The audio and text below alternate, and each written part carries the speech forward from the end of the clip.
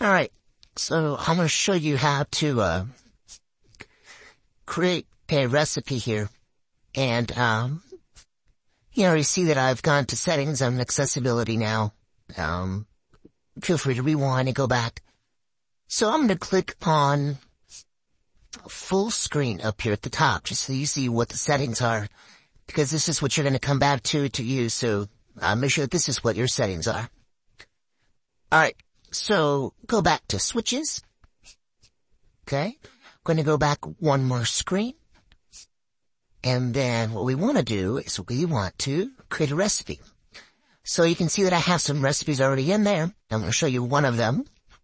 Just so you can see the settings, you can see that it's a heal assist and I've selected custom gesture, right? Cause I'm going to create my own recipe using a custom gesture. So what we do is we go to create a recipe uh, I'm gonna give it a name. Um, let's see. Zig test. Alright. And so, now what we want to do is we want to assign a switch, full screen, and we're going to create a custom gesture. Now, I already know where I want this to go.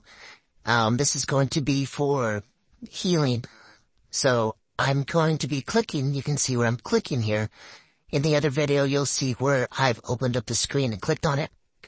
Couple of things here. Um, you want to make sure that uh, you click in the right spot and you only get 10 seconds. You'll see that it goes gray after I've clicked, um, in that spot. However fast you want, however slow you want. I don't do it too fast. I don't do it too slow. Um, you can go back and play it, see if it's what you want. If you don't, you can re-record. Alright, once you got that, you save it, exit out,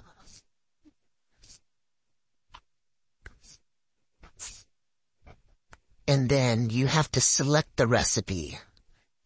You see at the very bottom which is launch recipe, tap for game, I'm gonna select Zig test.